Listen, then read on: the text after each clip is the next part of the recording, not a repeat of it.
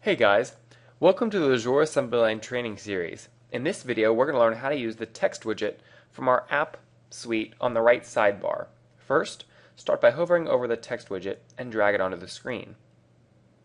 Next, simply type in your text. You can put in custom fonts by entering text and selecting a new font family and size.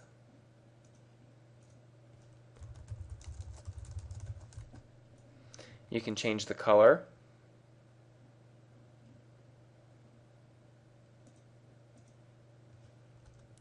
You can also insert clickable links by simply highlighting what you'd want to make clickable, clicking this add link icon, and deciding what you'd like it to link to and if you want it to open in a new window or not. Next, make sure you click View so you get the live preview and then click Save. That is how to properly render your text. Next, when I click Publish tab and refresh this page, you'll see the custom text and the link embedded right on the page.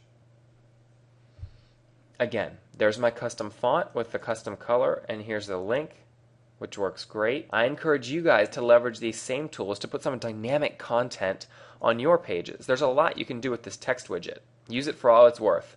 Alrighty, guys, thanks and take care. Bye bye.